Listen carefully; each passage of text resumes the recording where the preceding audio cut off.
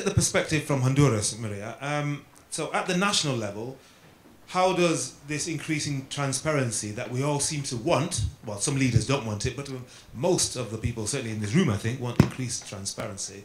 How does it help you as a government to do your work better, to reach out and to support the people who need it in your country?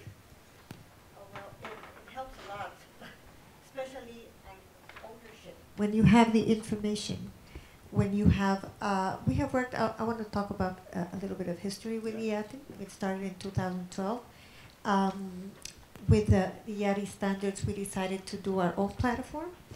And, uh, but we had a challenge because everything was working in the planning ministry, and then it came to the Ministry of Foreign Affairs four years ago. So that was a, a big challenge. Uh, but uh, we decided to raise some uh, money from country donors that believed in the transparency that we were looking for. And uh, we really have gotten to have ownership on our platform. And this, this is very useful not only for transparency, but also for mutual accountability, because sometimes we think uh, the recipients have to be accountable, but also the donors have to be accountable in a way. It's, it's, so this brings us in a continuous dialogue with our uh, cooperation uh, and, and all the actors in the cooperation uh, community in Honduras. So it's very well, because I mean, we're kind of moving now to uh, partnerships and networks and want to look at um, look at this through the prism or through the eyes of, of Honduras. So I was wondering what the benefits of the national platform are now and, and just tell us in a bit more detail why IATI's standard was used because you could have gone elsewhere for the basis of your platform.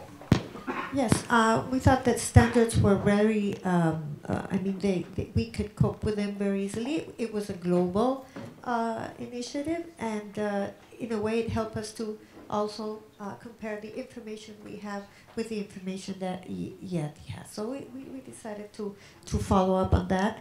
And um, also, uh, alignment is very important for us. And in, in a way, to harmonize and align what we need, what our development goals are, uh, with the help we were receiving. So when you look at the platform, I don't know when you look, you last looked at the platform. Um, what do you look for?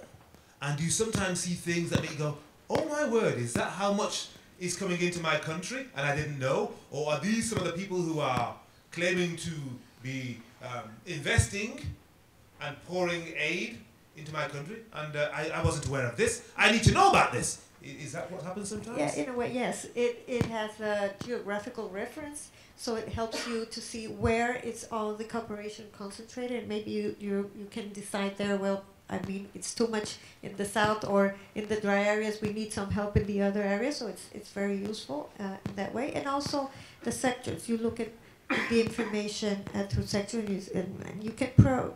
My, our priorities are health, education, or infrastructure. So we say, okay, let's look how it, how this is going, and if it's not on that priority, we talk to the donors so we can move it up. And, and explain how